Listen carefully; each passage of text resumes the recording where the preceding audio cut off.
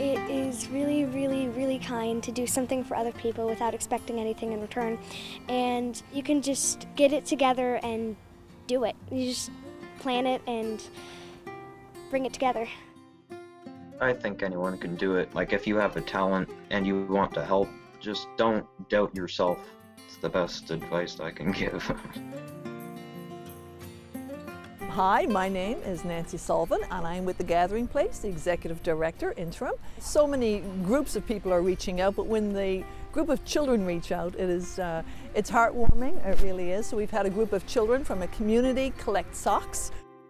Hi, my name is Tessa Green. Hi, my name is Amelia Basley. Hi, my name is Anna Blackwood. My name is Aaron Crane. And where do you guys live? We live on Exeter Avenue. At the gathering place, people don't always have like super warm feet or warm bodies, and you want to be warm because it's really cold in the winter. What did you guys decide to do for those people?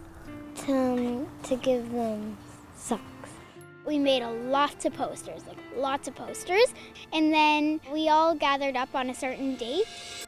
And then we went to door to door and then we collected all of the socks and money. We got 257 pairs of socks and we got around $700.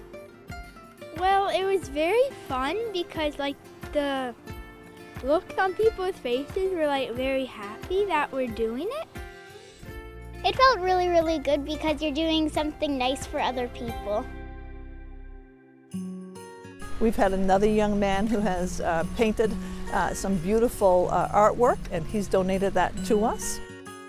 Hi, I'm Devin. I'm 14 and I am the creator of Nifty Arts. Nifty Arts is my business where I do painting and I sell those paintings and a portion will go to any uh, charity. I recently donated to the Gathering Place. I donated $50 from the portions I made this year. I gave them a piece of my art as well. It, it was like a wholesome moment, really. I think they were very thankful. They certainly appreciated it, and I, I was glad to do it.